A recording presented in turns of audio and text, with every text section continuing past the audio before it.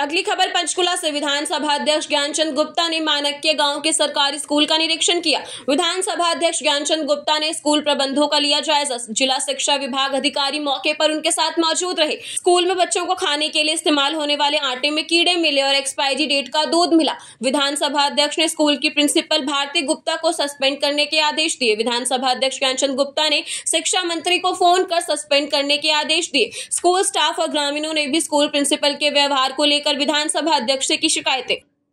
शिकायत मिली थी कि दो या तीन गाँव के अंदर कुछ स्कूलों का वातावरण ठीक नहीं है, जो स्कूलों के अंदर खाने का बच्चों को दिया जा रहा है, वो एक्सपायर डेट का या उसमें कुछ कीड़े वीड़े हैं।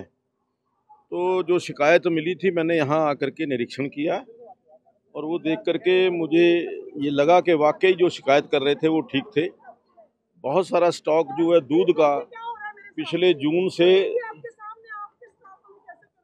आप मैडम इनको इनको ये सिर्फ़ ड्रामाबाजी है यही कर दिया है। सारे सामने यही ड्रामा तो क्या कर जो यहाँ पर आटे का स्टॉक चावल का स्टॉक और दूध जो पड़ा है वो भी दो डेढ़ दो महीने का एक्सपायर डेट का दूध जो है और आटा तो मार्च 2024 का।